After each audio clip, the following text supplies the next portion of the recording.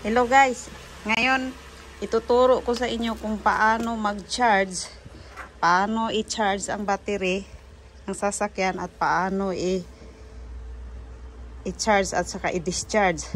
So una-una, naka-charge na kasi ito eh, matagal na, isang linggo na. So una-una, pag mag-charge kayo, ito yung ikabit nyo. Tapos pangalawa ito. Pag tanggalin mo naman, tanggalin mo muna yan.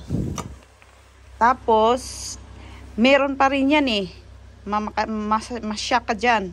So, tanggalin mo tong una, tong ah, negative. Pagkatapos, positive. Yun lang. Yan lang kadali.